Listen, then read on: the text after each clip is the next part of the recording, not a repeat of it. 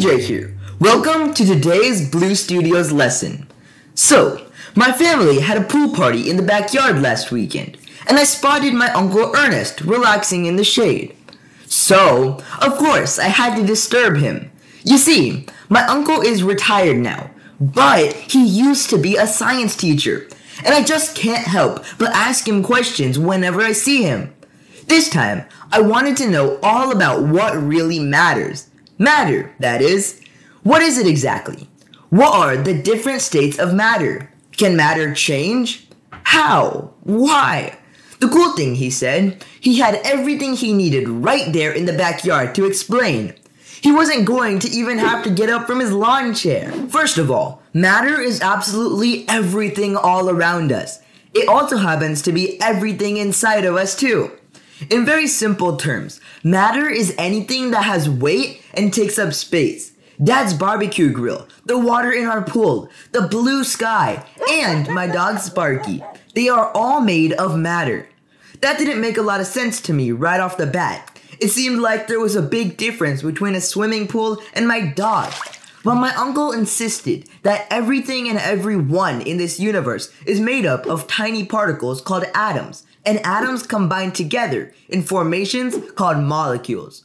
We can't see them without a microscope, but he pointed to one drop of water that had splashed out of the pool.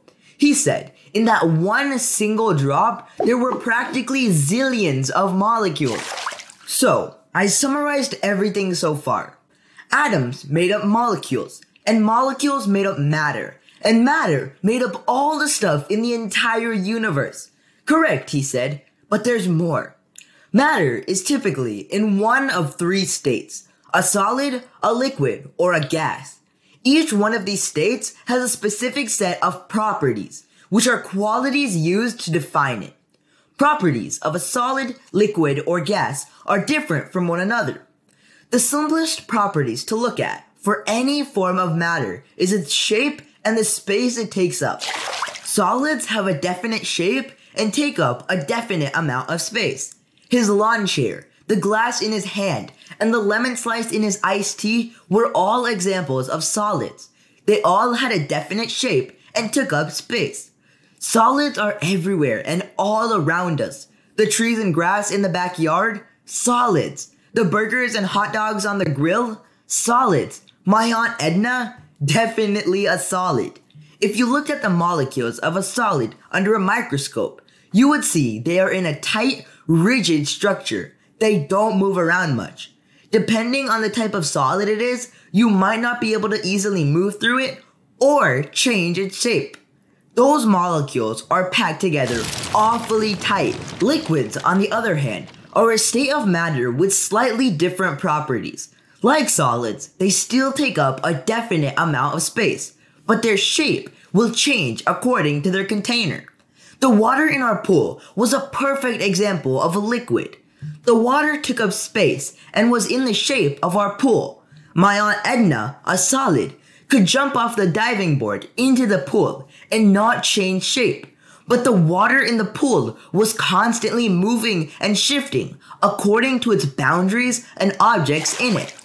Speaking of Aunt, she cannonballed into the pool, and it's only because water is a liquid that she was able to do this safely.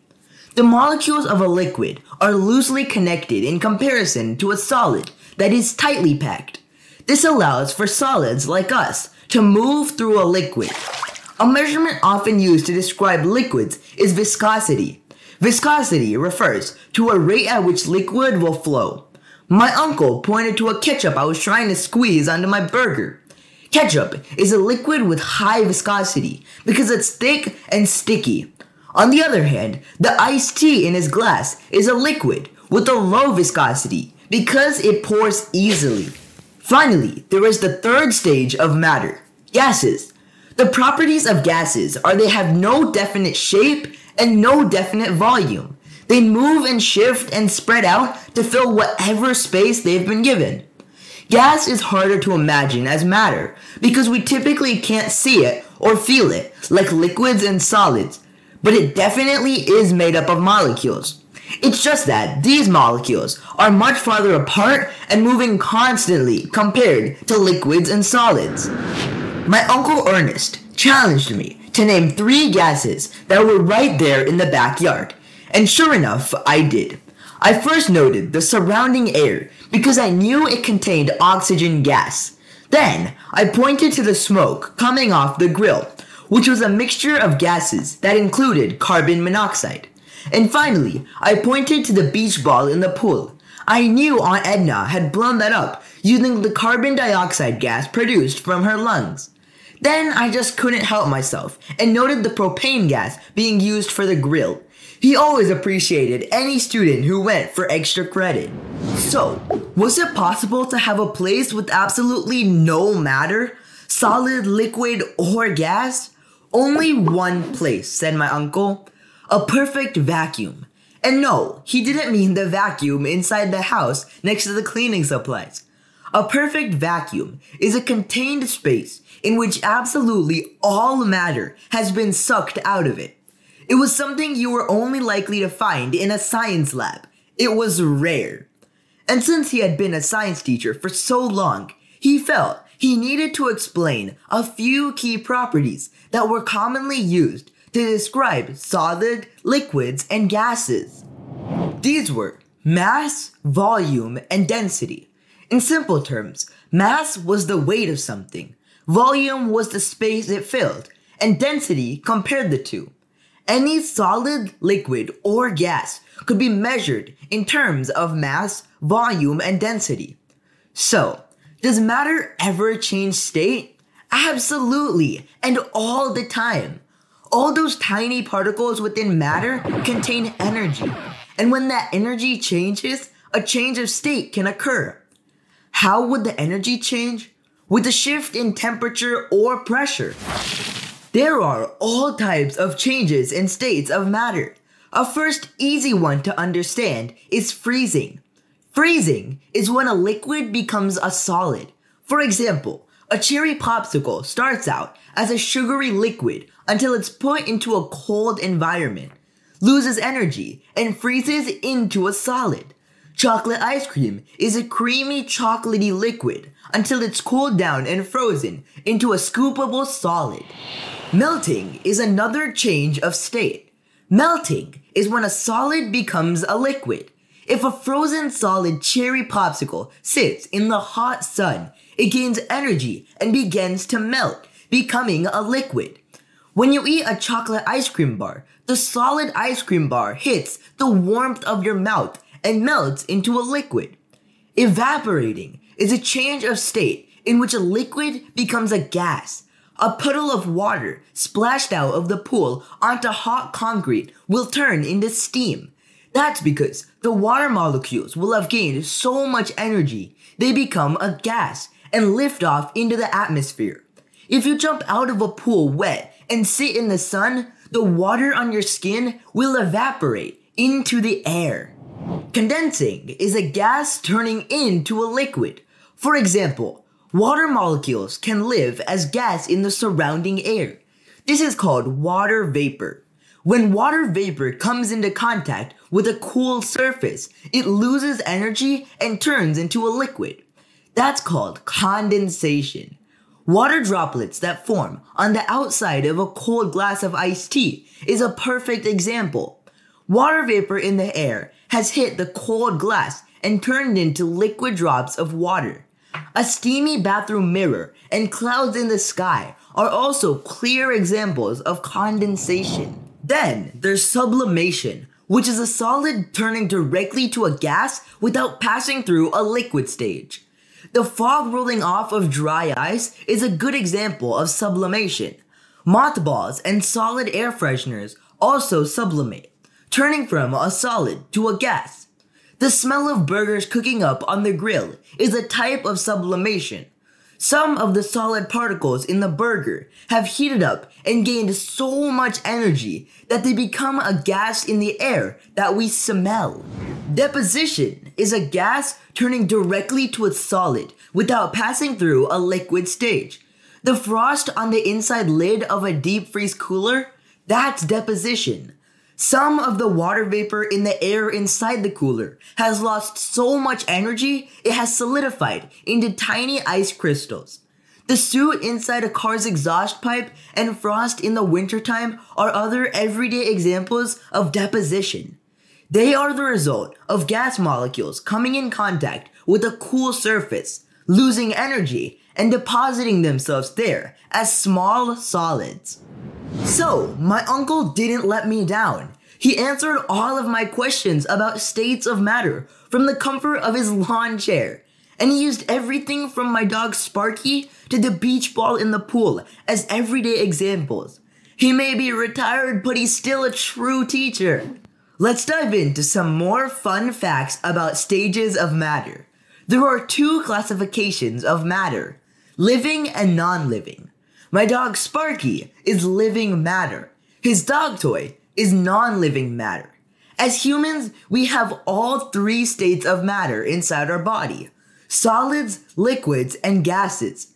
Water is the only matter that appears naturally as solid, liquid, and gas on planet Earth all at the same time. Solids, liquids, and gases can be looked at in terms of their intermolecular force. This is the force of attraction between their molecules. A malleable material is a solid that can be manipulated into a change of shape without breaking. Metals, such as gold, silver, iron, aluminum, copper, and tin, are all considered malleable materials because they can be twisted, stretched, or flattened with the use of heat. Distillation is a purification process in which a liquid is heated up to form vapor, leaving certain solid particles behind. Then, the vapor is cooled back into a liquid. Distilled water has fewer impurities than regular tap water because many of the tiny particles in the water have been removed.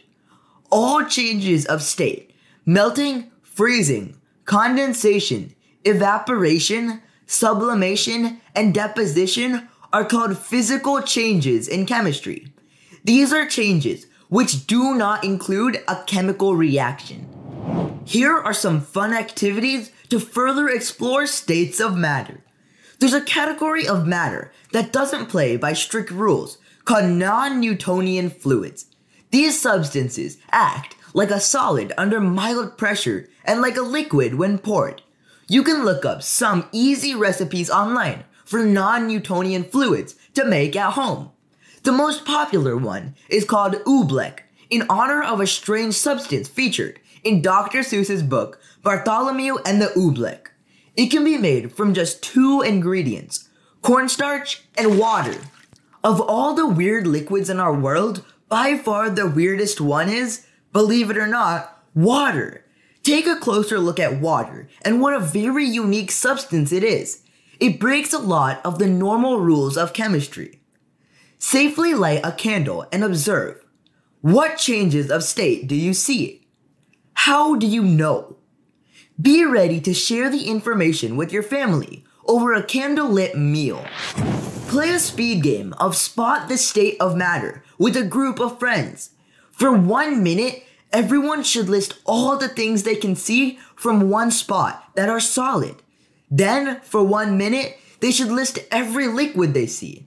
And for a final minute, they should list all the gases they suspect are present. Now, compare lists and reward the winner.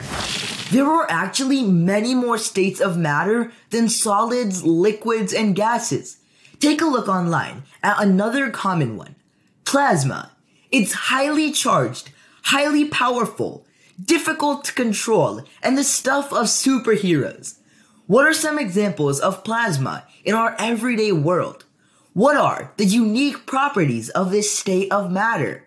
Put together a slideshow all about plasma and share your findings with an audience in awe of superpowers. After my Uncle Ernest answered all of my science questions, he asked me to do him a solid refill his iced tea. Oh, and to go show Aunt Edna what a real cannonball looks like. well, that's it for today. Thanks for tuning in. See you next time.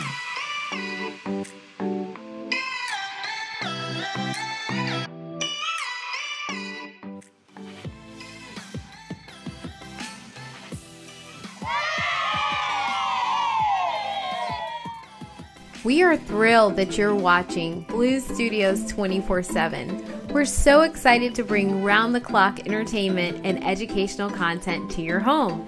Don't forget to hit the subscribe button to stay up to date with our latest videos. At Blue Studios, we aspire to revolutionize the way families spend time together.